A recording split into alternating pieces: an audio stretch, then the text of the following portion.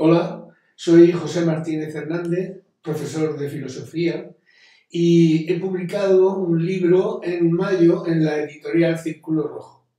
El libro, que lo tenéis delante de vosotros, se titula La banalidad trágica, cartas sobre la estupidez postmoderna. Se trata de un ensayo a mitad de camino entre la filosofía y la sociología, donde hago una reflexión crítica sobre la sociedad contemporánea. El título ya da la pista de esa reflexión. Considero que nuestro tiempo es un tiempo postmoderno y que mm, vive en una contradicción.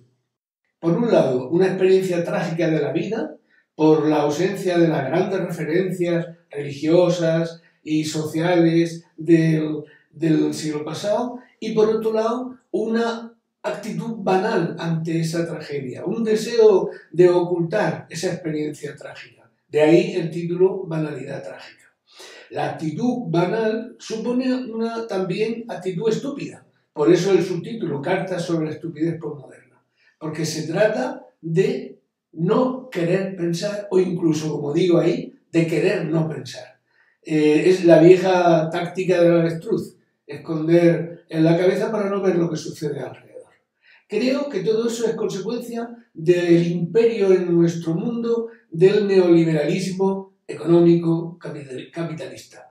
De tal manera que eso se extiende a todos los ámbitos de la cultura, de la educación, de la religión, de la creación y da como resultado una sociedad infantilizada, una sociedad que mira para otro lado y no quiere enfrentarse a las grandes cuestiones y a los grandes problemas que tenemos en nuestro mundo.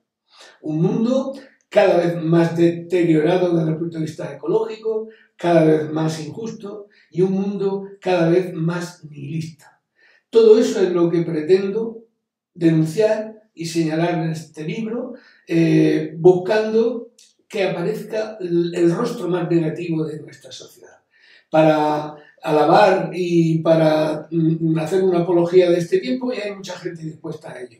Yo lo que pretendo, lo que me nace, digo en el libro, es una diatriba, una crítica, porque se trata de denunciar lo que al principio del libro digo.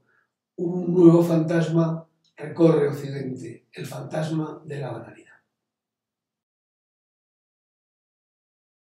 Esto es todo lo que os quería adelantar.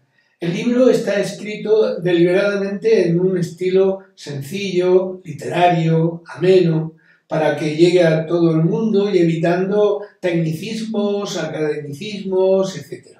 Lo que he pretendido con él es que no solamente eh, se transmitan mis ideas, sino que se lean disfrutando de esa, de esa lectura. Está dirigido a lectores de todo tipo a vosotros que me estáis oyendo y que espero que tengáis interés y que se os despierte la gana de leerlo.